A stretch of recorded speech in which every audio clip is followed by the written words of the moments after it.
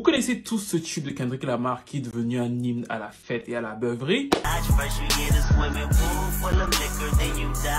Oui, la chanson est le premier single de son exceptionnel album Good Kid Matichi. Et d'ailleurs, dans certaines soirées et dans certains festivals auxquels j'ai d'ailleurs assisté, dès qu'on diffuse la chanson, les gens attendent très souvent le moment où le mec va dire faut prendre un shot parce que ça semble fun, ça va avec le côté un peu festif et décadent de la chanson. Et c'est peut-être de là qu'elle tire son génie parce que le titre, en réalité, prévient sur l'exact contraire. Swimming Pool de Kendrick Lamar est en réalité un titre anti-addiction à l'alcool. Dans le premier couplet, il raconte l'addiction de son grand-père à l'alcool et comment il va en mourir. Le fait que ce décès va lui-même le mener à avoir une certaine addiction à l'alcool.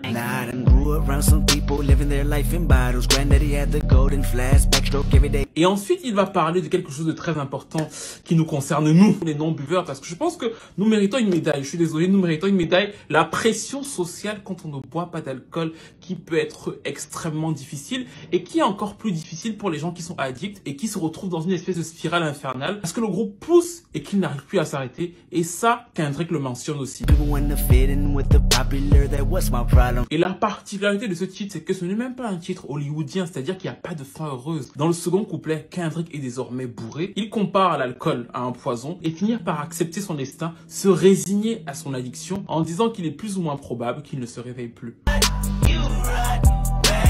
J'ai toujours trouvé hyper intéressant que ce titre-là, et c'est d'ailleurs pour ça que certains ont arrêté de m'inviter à certaines soirées. Je gaspillais aussi selon eux les softs, donc ça les arrangeait bien de le faire. Mais c'est aussi parce que j'ai souvent signalé le fait que ce titre-là, qui est devenu un hymne à la fête, à la beuverie, au fait qu'il faille prendre un shot chaque fois qu'il dit drink, bah en fait cette chanson-là en fait prévient sur tout l'inverse et sur tous les dangers que peuvent créer l'addiction à l'alcool et bien d'autres addictions d'ailleurs. Vous étiez-vous rendu compte du message de cette chanson. Est-ce que vous l'aimiez? Est-ce que vous l'aimiez pas? Est-ce que vous buviez en l'écoutant? Est-ce que le fait de connaître ce message aujourd'hui changera votre rapport à la chanson? Ou alors Kendrick Lamar qui pour moi reste encore une fois l'une des meilleures plumes de ces dix dernières années?